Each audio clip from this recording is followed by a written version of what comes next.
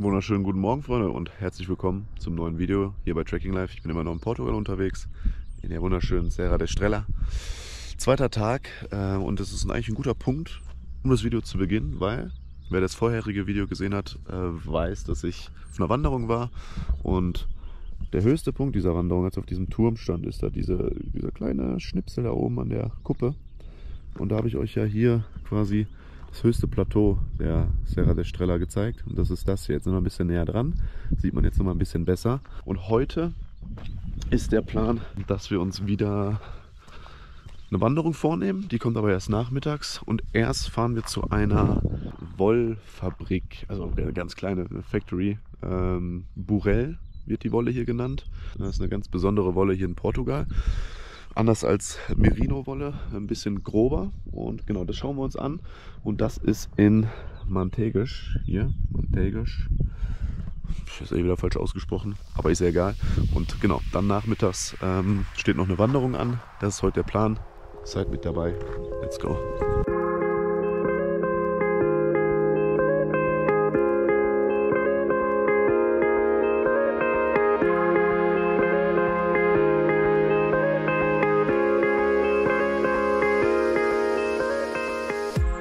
Kleines Stück weiter gefahren. Wir sind übrigens genau im, im Herzen der Serra de Estrella.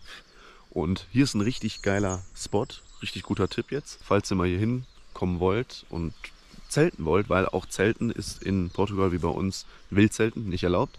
Aber hier haben wir einen wunderschönen Platz, wie man sieht. Überall Bänke und auch hier Feuerstellen, Grillhütten. Ähm, und hier darf man zelten. Und wir sind in der Mitte und hier alleine hier drumherum sind vier Wanderungen, die man machen kann. Das heißt, man kann sich hier perfekt sein, sein, seine Base aufbauen und von hier aus Touren starten, wenn man mit dem Auto hier ist, was man ja sowieso ist, weil irgendwie muss man hier hinkommen.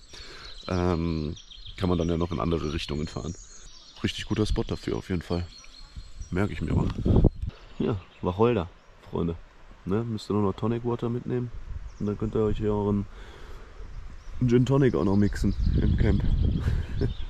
Ja, also auf dem Weg von ähm, Covelia sozusagen oder von dem Hotel, wo ich bin, ist ein bisschen weiter oberhalb nach Mantegas. Das sind auf jeden Fall äh, richtig coole Spots. Also wie gesagt, dieser Campingpark da gerade. Und äh, jetzt guck mal hier, so ein richtig schöner Naturpool. Kannst du im Sommer richtig, dich richtig schön abkühlen. Ich meine, kannst du jetzt auch, aber ist halt noch arschkalt. Und ja, wir müssen gleich auch weiter. Sonst, ich würde natürlich hier reinspringen, ne? Geh von hier oben. Kannst du zack, hier richtig tief, ey. Und Forellen sind hier drin. Kannst auch äh, angeln. So, angekommen an der Burel Factory. Also wie gesagt, äh, spezielle Wolle. Wie die hergestellt wird, weil die muss gewaschen werden, gewoben werden und so weiter. Schauen wir uns jetzt an. Wir gehen rein. Es wird sehr laut drin sein, weil es sind Maschinen. Vielleicht filme ich dann einfach so ein bisschen und schreibe ein bisschen was unten rein. Wir schauen einfach.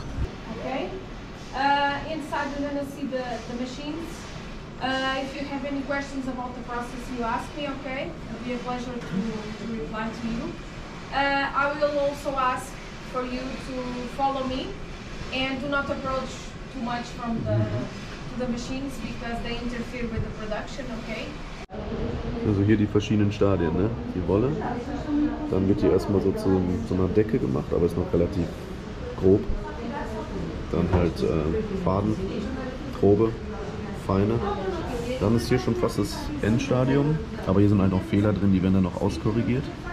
Und das ist dann hier das Endprodukt, was halt komplett fein ist, weil Burel ist feuerresistent, weil kein Sauerstoff in, zwischen der Wolle kann, weil es so compressed ist, also so zusammengepresst ist und wasserresistent, weil kein Wasser durchkommt.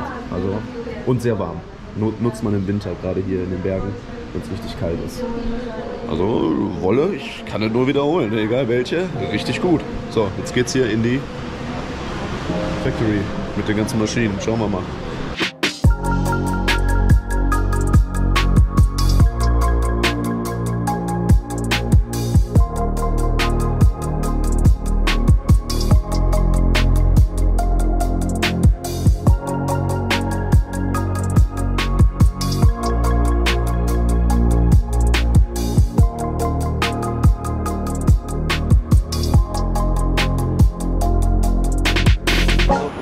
Passieren die ganzen Schritte. Ich weiß nicht, ob man mich versteht. Alter, jetzt ab. Ich finde das nur ein bisschen komisch, die Leute zu filmen, weil die arbeiten. Irgendwie fühle ich mich dann schlecht, so einfach rumzurennen und zu filmen und die haben halt einen richtigen Job, ne?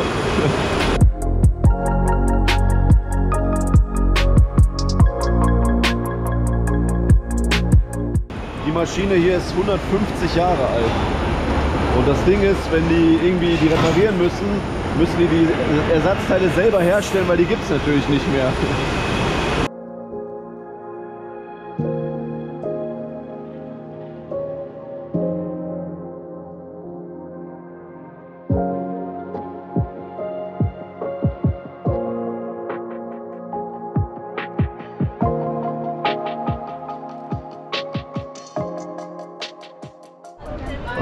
War jetzt hier die Tour durch die ja, Fabrik, wo Burell hergestellt wird. Mega interessant und richtig krass, was das Material alles drauf hat und was du daraus herstellen kannst. Und dann wird es halt entweder hier verarbeitet ähm, oder halt an weitere Distributoren, die das dann weiterverwerten. Ne? Ganz, ganz verschiedene Sachen auf jeden Fall. Und hier sind wir jetzt auch direkt hier, ne? Factory hinter mir ähm, kommen wir dann zum zweiten Teil des Tages. Und zwar geht es für uns jetzt gleich hier oben in diese schönen Wälder rein. Ne? Wir sehen hier die ganzen Pines, ähm, Kiefern, Birken mit darunter. Und da gehen wir jetzt gleich rein. Ich glaube, wir machen jetzt noch Mittagspause, gibt noch Lunch und dann geht's weiter.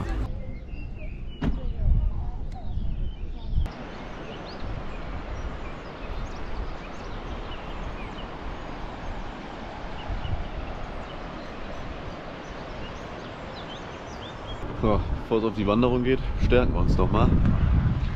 Schön Mittagessen hier. Ganz lokal, ganz traditionell. So, wir sind frisch gestärkt und jetzt geht's los auf die Wandertour. Äh, halb zwei, also jetzt ballert die Sonne gut, habe ich nochmal eingecremt, ey, über ekelhaft. Aber äh, ja, die Tour, ne, habe ich ja gestern beim vorherigen Video schon mal erklärt, PR. Also für eine kurze Route wieder unter 20 Kilometer, 2 die Nummer und MTG steht dann für Mantegas. Ja, MTG. Genau, und die Route heißt Rota do Javali. Äh, Boa Route ist Wildschwein. Weil da kannst du gut Wildschweine sehen, aber die sind eher morgens zu sehen. Naja, schauen wir mal. Auf jeden Fall geht's into the woods. Hier auch nochmal das Zeichen für den PR da oben. Poco do Inferno ist ein Wasserfall, den werden wir gleich später noch sehen. Und der GR, einer der GRs führt hier auch lang. In diese Richtung. Erster Kilometer rum und die Wanderung startet erstmal hier richtig schön entspannt. So einer Forststraße, wie wir sagen würden. Da kann man auf jeden Fall erstmal gut reinkommen. Es geht noch nicht steil hoch, bleibt gerade. Und man hat einen wunderbare wunderbaren Blick hier hinter den Bäumen. Manchmal sind die auch frei, man kann freistellen auf ähm, die Stadt. Manteras, nee, Manteras. Ich habe den Namen schon wieder vergessen, ich kann mir doch nichts merken. So ähnlich auf jeden Fall. What was the name of the city again? Manteras? Mantegas. Mantegas. Not a city, it's a town. A town, a town, not a city. 3000 people, roundabout. 3000, 2500. Boah, diese Fliegen. It's so annoying when they are in your ear. Ja, hier sind Fliegen unterwegs. Aber jetzt geht's noch um die Zeit, Anfang Mai. Juni kannst du ja nicht langlaufen. Weil das ist halt der Vorteil vom Wald. Hast halt Schatten, ist ein bisschen kühler als auf dem Plateau. Aber hier sind halt mehr Fliegen, weil die auch den Schatten suchen. Und von den Bäumen her, ja, hier hinkommen und dich dann abfacken.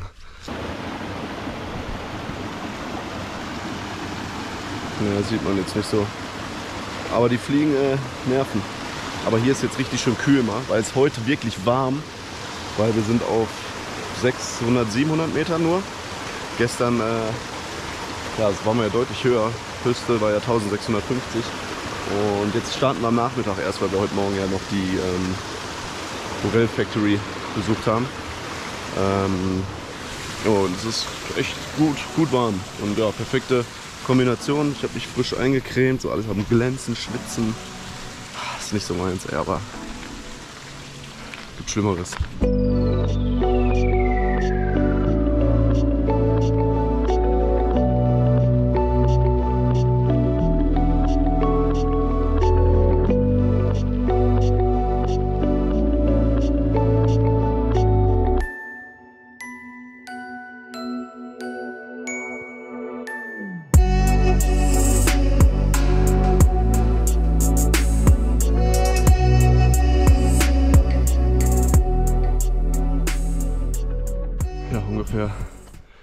Ein Kilometer vor dem Wasserfall geht es nochmal richtig gut los.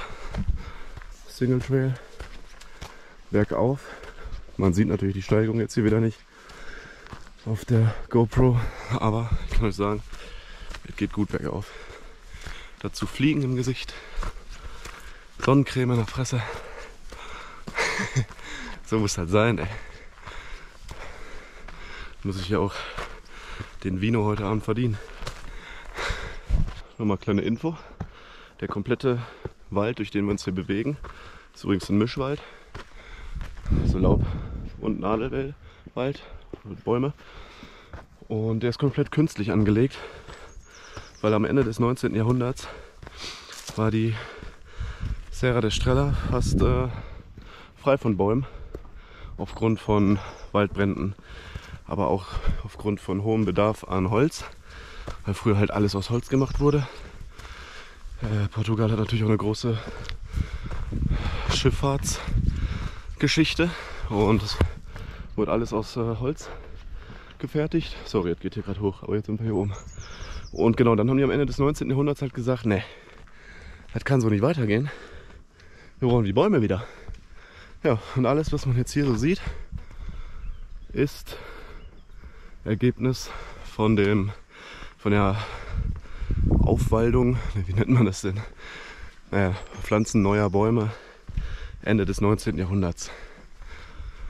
Und dieses Gebäude, wo wir vorhin vorbeigelaufen sind, da saßen die Hauptverantwortlichen drin, die sich hier rum gekümmert haben. Moin Freunde, weiter geht's hier. Wo bin ich am glänzen, ey? Poco, Poco do Inferno. Der Inferno heißt Hölle. What was Poco again? Poco means Poco means Uh, Poço means natural pool. Pozo. Poço, natural pool. Natural Pool. Okay, Pozo. Pozo do Inferno. Hier nicht Poco die ganze Zeit. Ne? Poco gibt's nur bei uns. nee, auf jeden Fall ähm, wird hier auch erklärt. Hornfels habe ich selber noch nicht gehört, wie das entstanden ist. Äh, auch wieder durch Granit. Granit unter der Erde, extrem harter Fels. Und durch die Magma, die da entstanden ist, wird der halt durch den Druck hochgedrückt und dann sind diese Hornfelsspitzen hier entstanden. Oben drauf lag vorher Shale, also ähm, Schiefer. Genau, und dann hat Granit quasi das so hochgedrückt, dass hier diese richtigen, naja, kannst du euch auch in echt zeigen, Spitzen hier überall sind, ne? Sieht man. Deshalb perfektes Gebiet für Wasserfälle, weil es halt hier überall steil ist. Und der Posto do Inferno ist einer davon. Und auf jeden Fall der bekannteste hier. Ich weiß gar nicht, ob es mehr gibt, aber ich glaube, den gibt es das ganze Jahr über. Und die anderen Wasserfälle, Entschuldigung, dass ich esse, gibt es halt nur, wenn der Schnee schmilzt, nach dem Winter. Ne, jetzt ist schon wieder ein bisschen zu spät. Da sind die am, am stärksten dann natürlich. Und im Sommer ist alles ein bisschen weniger, ein bisschen kleiner. Und hier gibt es auch super Trinkwasser. Da könnt ihr auch mal einen Schluck von nehmen.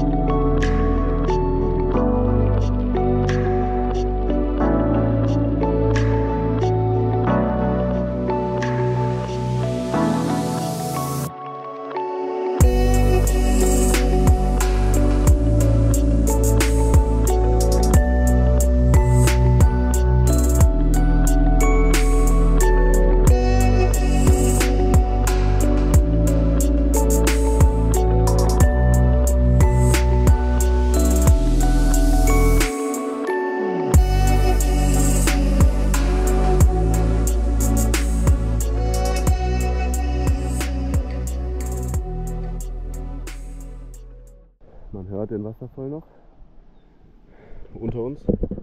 Wir sind jetzt schon ein bisschen höher gestiegen und hier kommt eine Weggabelung, weil es gibt auch eine Route um den Wasserfall rum. Hier. Ruta do Posto do Inferno. Hoppala, so. Ist dann äh, PR1. Ist ungefähr drei Kilometer lang. Dann kann man quasi hier weiter hochgehen. Dann eine Runde kommt dann wieder am Wasserfall unten aus. Aber wir folgen unserer Route. Ah, die Sonne, PR2. Richtung Antegas. 5,2 Kilometer. 6,19 haben wir. Ja, dann macht das eine ganz gemütliche Runde hier am Nachmittag. Blauer Himmel, die Sonne scheint. Ich habe diese Aussicht für euch. Mhm. Herrlich. Ja, Hallöchen, Popöchen, da bin ich wieder. Geht gerade jetzt hier runter, die letzten 1, 2, 3 Kilometerchen. Ähm, Fußballer, ne? schön aufpassen. Weg ist nicht so spannend, deshalb dachte ich mir, erzähl doch mal was, ne? kleinen Schwenk aus meinem Leben. Nee, ähm, es kamen gerade zwei Personen entgegen, Pärchen, ich würde sagen so zwischen 40 und 50 und halt komplett nicht ausgerüstet für eine Wanderung. Also der Mann Sneakers an, die Dame so Pantöffelchen, Latschen halt ne, und Kleidchen. So ein Strandkleidchen halt. Also war eher ein Strandoutfit, würde ich sagen. Und deshalb auch nochmal an der Stelle, das sind hier, also auch wenn wir in Portugal sind, das sind hier richtige Wanderwege. Also das kannst du mit äh, Wandern in den Alpen vergleichen, mit alpinen Wegen. Du, hast, du musst auch Schwindelfreiheit haben, weil du hast teilweise Wege, die an der Kante entlang gehen, wo es halt richtig runter geht. Also halt ne, nicht unterschätzen, das ist Gebirge hier. Das, das wollte ich nur noch mal gesagt haben. Vielleicht kam das bis jetzt nicht so rüber. Also das ist schon richtiges Bergwandern. Und ähm, ja, Nuno, mein Guide, meinte auch nur so, ja, vielleicht sollte ich mal die Rangers anrufen, weil wenn die zu diesem Wasserfall wollen, das sind noch drei, vier Kilometer und die waren schon ja, ziemlich gut dabei. Ne? Also waren schon sehr durchgeschwitzt und sahen jetzt nicht mehr ganz so fit aus. Also, wie ich, wie ich immer so gern zu sagen pflege, die Natur ist für jeden, doch nicht jeder ist für die Natur. So, schaut mal her, Leute. Da sind wir fast wieder zurück. Nach knapp, ja, sagen wir mal 12 Kilometern, bis wir wieder am Auto sind. War das eine wunderschöne Runde. Ähm, mit dem Highlight natürlich, dem Wasserfall. Posto do, Inf Posto do Inferno. The Waterfall. Ja. Posto do Inferno. Genau in der Mitte übrigens. Also da kann man perfekt eine Pause auch einplanen. Hm, könnte erst losgehen. Ungefähr, haben wir jetzt gesagt, sechs Kilometer wandern. Pause. Und sogar im Sommer bei den guten Temperaturen eine Erfrischung daneben, kleinen Reinspringen mal. Und dann äh, wieder zurückwandern.